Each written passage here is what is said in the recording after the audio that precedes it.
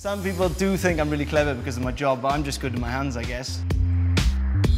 My name's Callum, I'm 28, I'm from South Wales and I'm an aircraft engineer. So my type of girl, I'm not really that fussy looks-wise, as long as I have that initial attraction. If I could be what I'm like with the boys around them and they actually like me for it, I'll stick a ring on it.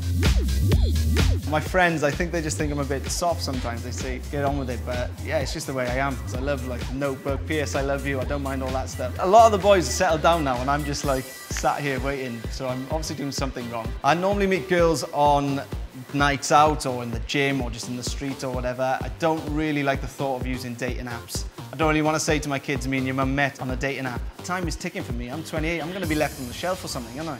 I like being in a relationship for like the first couple of months and then it seems to go south. I'm hoping this summer is going to be like my little fairy tale. I know it's not what it's like in the films, but I wouldn't mind something a little bit closer, you know?